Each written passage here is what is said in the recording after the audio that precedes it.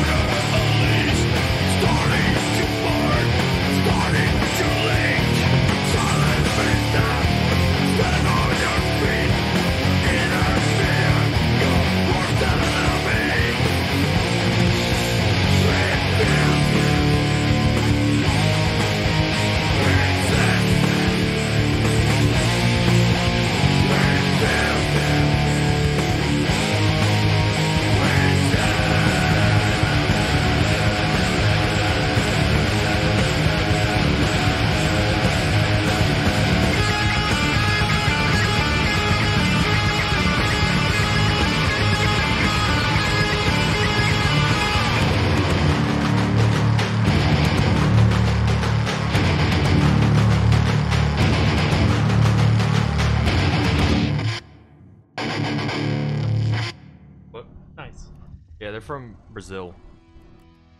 I'm pretty sure. Brazilian. It's not death. Well, I guess. Yeah, Brazilian death metal. Sure.